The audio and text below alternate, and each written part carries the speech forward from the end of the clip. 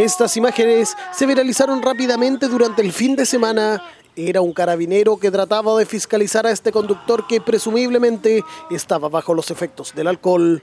quien al ver al funcionario se dio la fuga con él a la siga. Este hecho ha causado preocupación en las autoridades, principalmente la gobernadora de la provincia de Yanquihue, Leticia Ollarse, quien junto con lamentar la situación dijo que pudo haber tenido serias consecuencias. Lamentablemente, eh, Carabineros se acerca a este conductor que estaba bajo el efecto del alcohol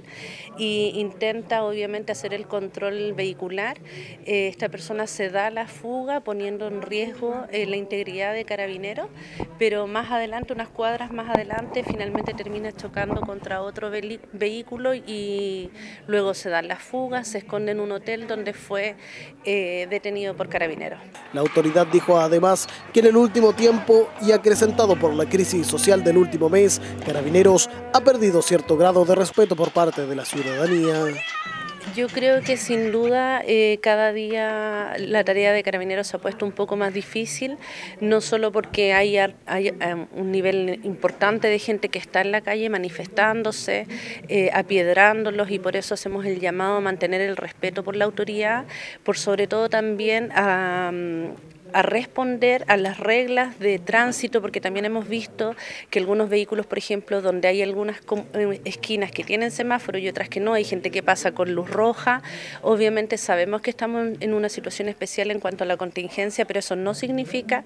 que por eso no respetemos las señales del tránsito, las señales de, de peatones, siempre es importante el autocuidado y por sobre todo no tener acciones que pongan en riesgo la situación de cada persona como a su vez de carabineros como un proyecto que buscará dar seguridad a instalaciones vitales para una comunidad, calificó el intendente de Los Lagos la iniciativa presentada durante el fin de semana por el presidente Sebastián Piñera, el que permitiría a las Fuerzas Armadas salir a resguardar espacios llamados infraestructura crítica, esto sin la necesidad de establecer un estado de excepción. Para el jefe regional, el proyecto de ley presentado durante el sábado ayudaría a mejorar la sensación de seguridad, esto en el caso de ser necesario la presencia de las Fuerzas Armadas.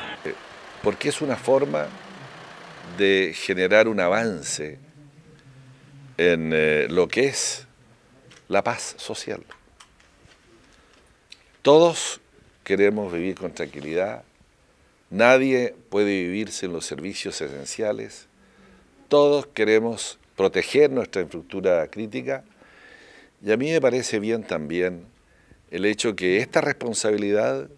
se le pueda entregar a las Fuerzas Armadas para liberar precisamente recursos de carabineros que tiene la obligación constitucional y el mandato